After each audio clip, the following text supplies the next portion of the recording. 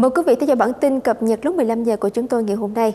Thưa quý vị, sáng nay Tòa án tối cao Thái Lan ra phán quyết 8 năm tù giam đối với cựu thủ tướng nước này Thaksin Shinawatra, người vừa trở về nước sau thời gian dài sống lưu vong.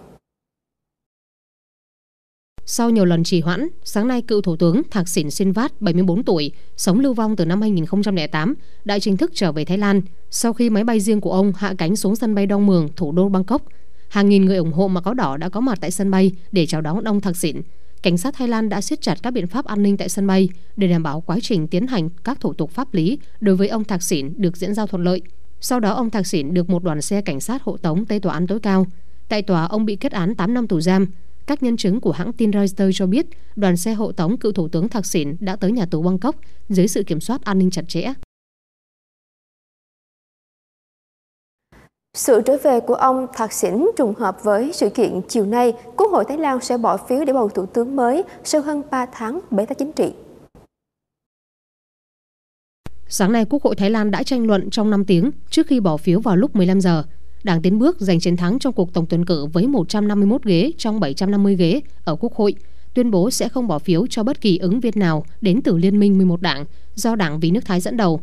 Hiện Liên minh 11 đảng này đang nắm 314 ghế, do đó cần thêm 62 phiếu ủng hộ từ 250 nghị sĩ ở Thượng viện để giành ghế thủ tướng theo luật định.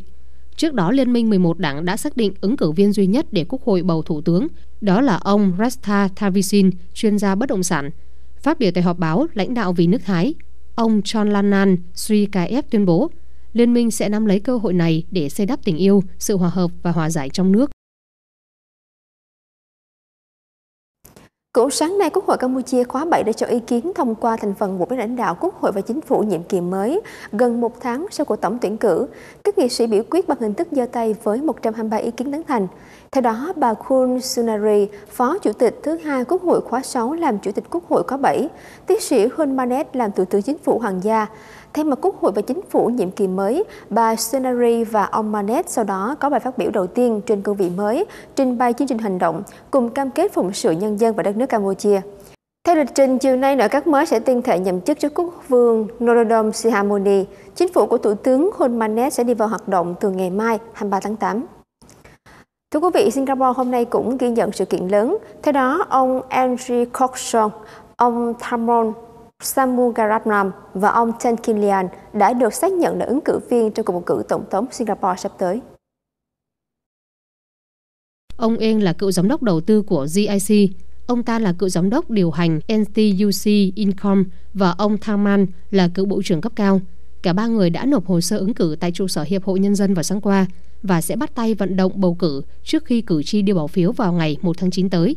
Cơ quan bầu cử đầu tháng này cho biết các cuộc biểu tình không được khuyến khích trước bầu cử và không có địa điểm biểu tình nào được chỉ định vì chúng có thể gây chia rẽ và không phù hợp với vai trò thống nhất của tổng thống được bầu.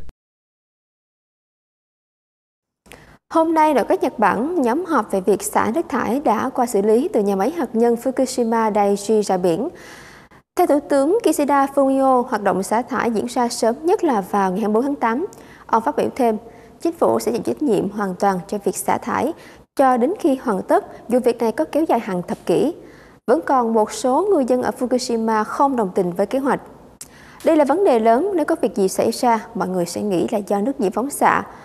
Nước thải đã qua xử lý ở nhà máy Fukushima đã được loại bỏ các nguyên tố phóng xạ độc hại và được cơ quan năng lượng nguyên tử quốc tế xác nhận đáp ứng các tiêu chuẩn an toàn.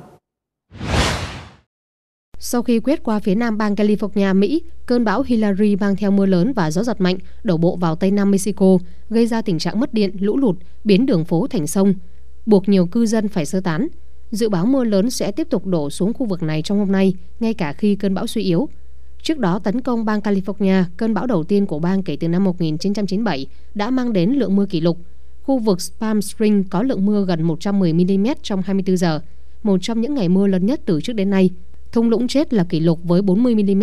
Cơn bão ập đến trùng với thời điểm ngày đầu tiên đến trường, khiến nhiều trường học ở San Diego và Los Angeles phải đóng cửa.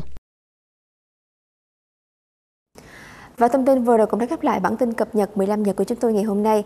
Cảm ơn quý vị và các bạn đã quan tâm theo dõi. Xin chào và hẹn gặp lại.